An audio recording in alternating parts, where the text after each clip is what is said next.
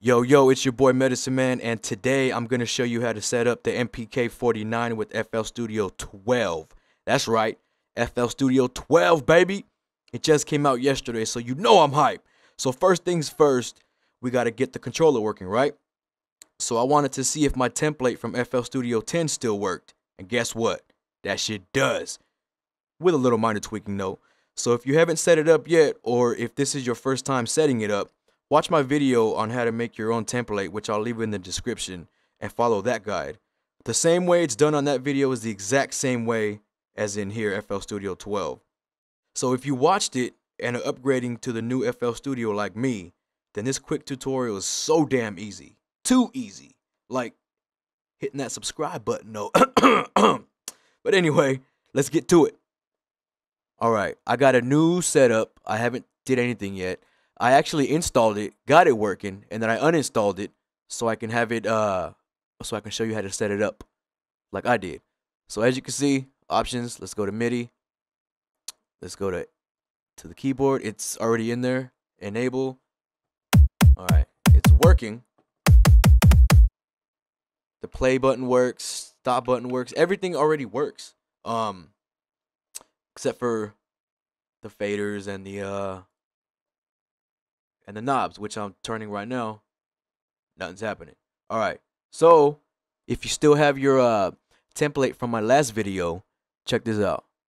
Let's X out. I still have FL Studio 10 installed. So let's see.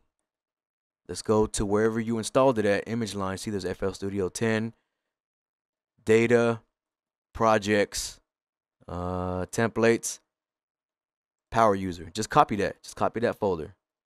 As you can see, that's my template. So once again, copy, right click, copy, go back.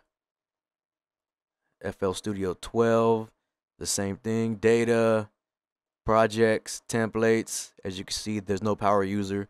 Just, oh, over fucking up. All right, paste it, boom, power user. Now, open up FL Studio, Go to file, um, um, um, um, um, new from template, boom, MED. Oh, see, that's another problem that I was having when I first uh, started FL12 was the plugins.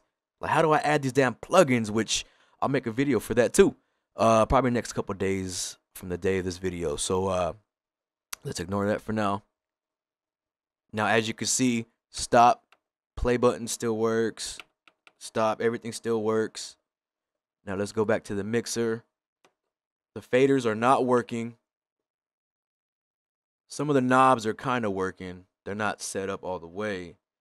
But instead of going through all that from my last video, like setting it up from scratch, you already have the basics pretty much down. So from there, you can just right click and link the link to controller and then start like and, and then just start from scratch. From this part, I mean. Accept. Oh, I didn't even press it. All right, there we go. Yeah, so this is basically pretty much it. So you can just drag and drop the uh, power user template, bring it over. Stuff's already halfway working, and you just got to link the controllers over and over again. So once you do that, the same as the last video, save new version, templates, power user, Yep. Okay, now let's X out. Restart. It's gonna give me that because it's damn plugins. But as you can see, my uh my BPM is still there. My uh, True Piano plugin is still there.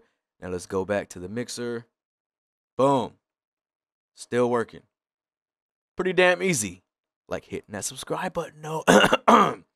but anyway, yeah. So I hope this helped out a, a little bit. And uh stay tuned. I'm gonna make a video on how to get these plugins up in there because they're loaded, but I can't find them.